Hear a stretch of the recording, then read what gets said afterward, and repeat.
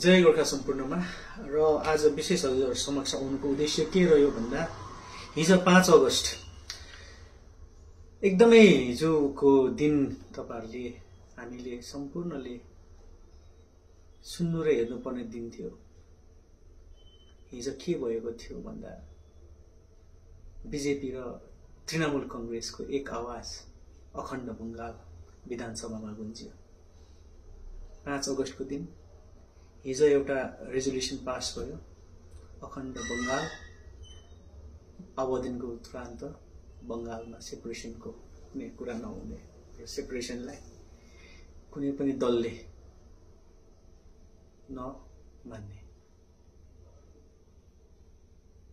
यति ठुलो कुरा हुँदा हुँदा है यो मोसन जुन चाहिँ छ अब त्यो रुल एट्टी फाइभ अखण्ड बङ्गालको जुन चाहिँ रेजोल्युसन पारित भयो यसमा तपाईँको बङ्गालको एकतर्फे पार्टी जुन चाहिँ छ टिएमसी होइन तृणमूल कङ्ग्रेस हामी उहाँहरूसँग त मान्न सक्छौँ कि एकदम अगेन्स्टको हो बङ्गालको विभाजन चाहँदैन है। अर्कोतिर हेर्नु बिजेपी। बिजेपी जसले हामीलाई बिस वर्षदेखिको अलग राज्य हुन्छ हामी अलग राज्यको फेभरमा छौँ हामी अलग राज्य दिन्छौँ हामीलाई जिताएर पठाउनुहोस् तपाईँहरूको निम्ति हामी अलग राज्यको लागि काम गर्दैछौँ भनेर हामीलाई ढाँट्दै ढाँट्दै ढाँट्दै ढाँट्दै यहाँसम्म लिएर आएको। आज मैले किन यो कुरा भन्दैछु? म कुनै पार्टीको फेभरमा पनि छुइनँ कुनै पार्टीको अगेन्स्टमा पनि छुइनँ। म गोर्खाहरूको फेभरमा छु। के भयो? शुभेन्दु अधिकारीले undivided and un united Bengal amend गर्नु लगाउँछ बङ्गालमा विधानसभाभित्र। अनडिभाइडेड र युनाइटेड बेङ्गल हुनुपर्छ भनेर भन्छ शुभेन्दु अधिकारीको भाजपा विधायक दलको नेता। दिलीप घोषले पनि भाजपाका नेता दिलीप घोषले पनि भन्छन् हामी बङ्गाल विभाजन चाहँदैनौँ। स्टेटमा अलग प्रकारको राजनीति उहाँहरूले चलाउँछन्। सेन्ट्रलमा अलग प्रकारको राजनीति चलाउँछन्। एनडिए र इन्डिया अलायन्सको कुरा हुन्छ यहाँनिर। तर जब बङ्गालमा आउँछ इन्डिया र इन्डिया अलायन्स चल्दैन यहाँ अलग कुरा चल्छ। हामीले यो कुरा किन नबुझेको? हाम्रो बुद्धिजीवीहरू कुन चाहिँ कुनामा लुकेर बसेको छ त्यो थाहा छैन। हाम्रो दुर्भाग्य हो यो। आजसम्म हामी एकदमै दुर्भाग्य किन छौँ भन्दाखेरि हाम्रो दुर्भाग्य किन छ भन्दाखेरि हामीलाई हाम्रो बुद्धिजीवीहरूले कहिले पनि गोर्खे जातिको लागि बोल्नुपर्छ भनेर सोचेन। कोही पनि अगाडि आएर यस्तो कुराहरूमा संवेदनशील विषयहरूमा न त कुनै पोलिटिकल पार्टीले चासो राख्यो न त कुनै बुद्धिजीवीहरू आएर यो कुरामा जनतालाई बुझाउने काम गर्यो। हामीले एउटा कुरा बुझ्नुपर्छ। आज अखण्ड बङ्गाल सम्म मात्रै सीमित भएको कुरालाई लिएर पारित भयो भनेर सोच्नु हुँदैछ भने एक करोड जुन चाहिँ बङ्गलादेशबाट आउने रिफ्युजीहरू छ। शरणार्थीहरू छ। जुन चाहिँ चाहिँ जोहरू चाहिँ भोलिको दिनमा चाहिँ हिन्दू रिलिजनको हो र हिन्दू रिलिजनमा जति बेला आउँछ उहाँहरूलाई धर्मबाट उत्पीडन भएर आएको हुन्छ र उनीहरूलाई भोलिको दिनमा चाहिँ एक करोड जुन चाहिँ बङ्गलादेशी शरणार्थीहरू आउँछ उहाँहरूलाई शुभेन्दु अधिकारीज्यूले स्वागत गर्ने भएको छ। शुभेन्दु अधिकारीज्यू जो अपोजिसनको बिजेपीको महान लिडर हुनुहुन्छ। हेर्नुहोस् कुरा। एक करोड भोलिको दिनमा बङ्गलादेशीहरू भारत पस्छन्। सिएको हवाला दिएर यत्रो ठुलो कुरा भन्दाखेरि पनि उहाँहरू विरुद्ध केही पनि हुँदैन। हामी यहीँ बस्ने मान्छेले हाम्रो आफ्नो भूमि हाम्रो आफ्नो ल्यान्ड जुन चाहिँ छ हाम्रो पिता पुर्खाले सिचेर आएर यहाँसम्म पुगेको।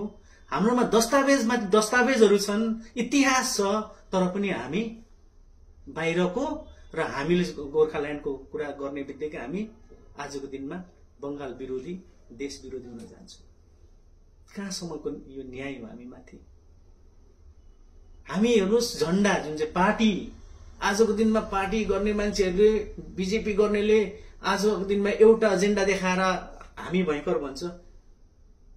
प्रजातान्त्रिक मोर्चा गर्नेहरूले एउटा एजेन्डा देखाएर हामी भयङ्कर भन्छ। अर्को फेरि स्टेटलाई सघाउने प्रजातान्त्रिक मोर्चाका दाजुभाइहरू जो हुनुहुन्छ उहाँहरूले स्टेटको फेभर लिएर कुरा गर्छन्। अर्को फेरि घटक दलहरू जुन चाहिँ सेन्ट्रलपट्टि फर्किनेहरू उहाँहरूले फेरि सेन्ट्रलको एजेन्डालाई लिएर हामी ठिक छौँ भनेर भन्छौँ। यिनीहरू सबैजना एक अर्कामा एक दाजुभाइहरू लडिरहेको छ जुझिरहेको छ। र जुझाउनेको हो उनीहरू मिलिरहेको छ। उनीहरू जुझाउनेहरू मिलिरहेको छ जुझाउनेहरूले मिलेर पनि आजको दिनमा अनडिभाइडेड एन्ड युनाइटेड बेङ्गल अखण्ड बङ्गालको रेजोल्युसन पारित गरिसक्यो। हामी हेरेको हेरेको छौँ हामी हाम्रै मुद्दाहरूमा हाम्रै सिचुएसनमा हामीलाई यहाँनिर डिस्ट्र्याक्ट गराएर हाम्रै मुद्दाहरूमा हामीलाई डिस्ट्र्याक्ट गराएर हाम्रै मान्छेसँग लड्नु लगाएर एक अर्कामा हामी लडेर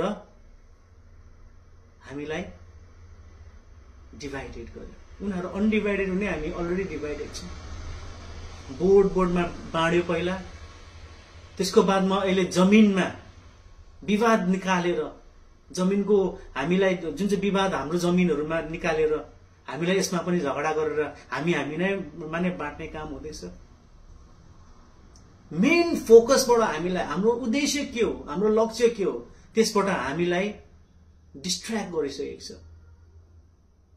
हामी हाम्रो मुद्दामा अब छैनौँ। कतै पनि हामी हाम्रो मुद्दामा छैनौँ।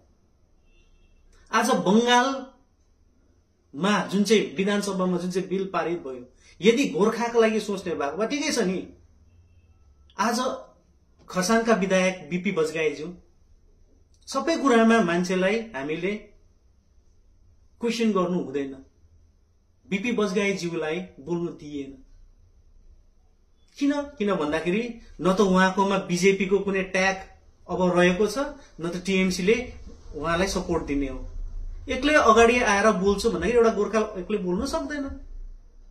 किनभने बोल्यो भने त ऊ त निस्वार्थ बोल्नुपर्छ। कुनै पार्टीको कमान्ड हुँदैन ऊमाथि उसलाई त लगाम लगाएर लगाम बिनाको घोडा गरेर बोल्छ ऊ त। होइन? हेर्नुहोस् हामीले राजनीति गर्नुपर्छ।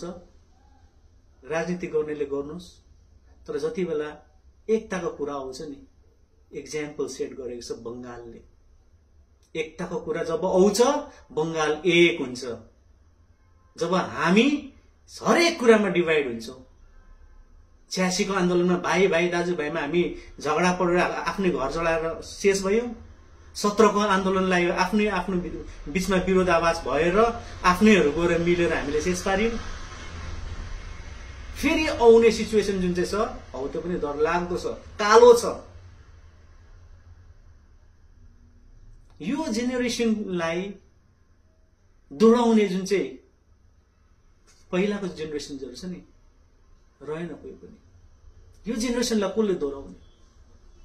अहिलेको युवाहरूलाई कसले चाहिँ लिएर जाने अगाडि? के को निम्ति लड्ने? कसरी लड्ने? माटो मुद्दा जाति प्रेम यसलाई कसले हाल्ने? सबै त आफ्नो आफ्नो भर्नमा लागिरहेको छ। सबै त आफ्नो आफ्नो जुन प्रकारको एउटा सेल्फिसनेस लिएर राजनीति गरिरहेको छ। आज बुद्धिजीवीहरूलाई एउटा राम्रो राम्रो पोस्ट दिएर टक्क राखिदिन्छ। गभर्मेन्टले बोल्ने होइन चुई उनीहरूले आफ्नो आफ्नो एक एकवटा जग्गा पाउँछ गभर्मेन्टले दिएको। उनीहरूको फ्यामिली सेट छ। बोल्ने परेन उनीहरूलाई। बोल्ने जति जति पनि छ उनीहरूलाई एक एकवटा के के के के दिएर बङ्गालले सेट गरेर राखिदिएको छ। बोल्नेको। हामीले अब यस्तो मुद्दाहरूमा यस्तो संवेदनशील विषयहरूमा पनि विरोध गर्न सकिन्न भने हामी सकेको भनेर मान्नु। तपाईँहरूले माने हुन्छ यो। म तपाईँहरूलाई एकपल्ट बिन्ती गर्न चाहन्छु। हेर्नुहोस् यो इस्युजलाई बुझ्नुहोस्। यो इस्यु डरलाग्दो छ। यसले भोलिको दिनमा जुन चाहिँ प्रकारको रिजल्ट लिएर आउँछ थाम्नु सक्दैनौँ हामी। हामी विक भइसकेका छौँ। एक अर्कामा लडेर लडेर हामी जुन प्रकारले विक भइसकेका छौँ आउने दिनमा यसले अझै विक बनाएर हामीलाई लान्छ। केटिभी समाचारका सरप्राइजर Oasis Kalimpong one step solution for study abroad motor stand Kalimpong Himalayan shopping tenth mile musk house Kalimpong north बेङ्गलको आफ्नो electronic retail chain DPMI Siliguri, India's leading paramedical institute, Capital University, Jorthang, South Sikkim, Admission open for the session 2024-25.